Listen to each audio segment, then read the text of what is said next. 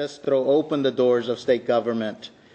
Let us bring all of you in so that you are partners and not silent. During the day, you could see almost no people of color. And yet, at 5 o'clock, when people are going home, the people of color are coming in to clean and to take care of the offices. It's a terrific thing that we are here in the bright day. And what I'm sure many of you understand now is the importance of advocating for issues that affect you, whether you are African American, Latino, white, or Asian American, whether you are of immigrant background or born here, that the most important advocate for you is you. The Commonwealth Seminar was created five years ago with a clear goal opening the doors of the State House. The decisions that impact our communities are made at the State House healthcare access, education funding, job creation, civil rights. Those policies are decided at the State House, and if our communities are absent from those debates, then our voices are silent on the issues that directly impact our families and neighborhoods. We cannot be silent. We must be advocates and champions. The State House must be our house, too. Me ask anybody who is not inside to come on inside. There is plenty of room here. I'll say to you what I say to people who visit the State House. The State House is your house. This room is your room tonight, so come on in. Over the past five years, the Commonwealth Seminar has trained more than 500 leaders and built a network of 3,000 diverse leaders from across boundaries of race, ethnicity, and municipalities. We are training a new generation of leaders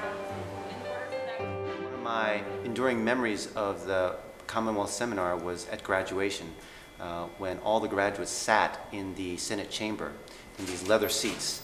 Um, and uh, it was at a moment like that when I contemplated running for office and maybe being one of those elected officials that would sit in those uh, leather seats. So the Commonwealth Seminar is about access. It's about access to people and to ideas. Now I know how to better advocate myself. I got involved in politics um, before the seminar, I thought people like me not, you know, have no voice in politics, but I had learned a lot. Uh, I am in a better position as a result of the program. I am going into uh, Women in Politics, and hopefully I'll run for um, office someday. I was born and raised in the country of Haiti. Although I was very, always very interested in politics, I never had a chance to vote in my life. For the, the only elections where I thought I would be able to vote ended in a bloodbath, and a couple of my friends were killed with a ballot in their hands. I have been in the United States for 20 years now. I am a registered voter, and I always make sure that I vote at every single election. Our mission and our goal is to open the doors of government, and uh, so we think that that is a very important ideal. And there's some people who really take that to heart because it's very easy to get in and forget and go to the next step and forget about the people behind you. But, you know, really what this program is about is we get there and then we help others in. And it's great to be the first, but you never want to be the last. And so when you are, are, the, are in those rooms and you are the only, speak up. Tell your story, share your perspective even when it is not a part of your job description. I challenge you to do it because you have a moral obligation to do it. And we are depending on you. you know, how many people here who have gone through this seminar either this time or in the past feel empowered by this information?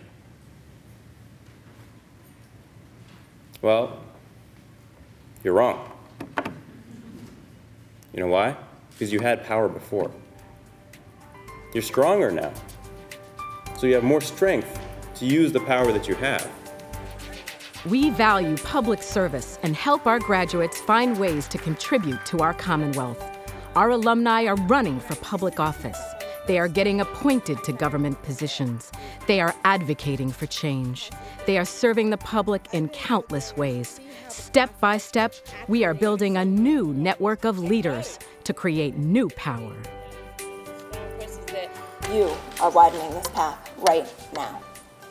You are already leaders in your own right. Your professional accomplishments are already impressive, just downright impressive. Take what you have learned at the Commonwealth Seminar. Bring all that your community has given you. Pack your smarts, pack your energy, pack your tenacity, and I ask you to join me here in the State House. Thank you so much.